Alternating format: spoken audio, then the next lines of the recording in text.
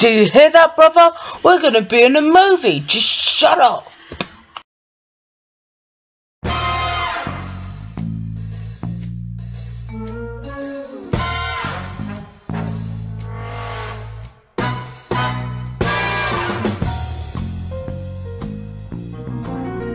Keep your hands straight, you imbecile!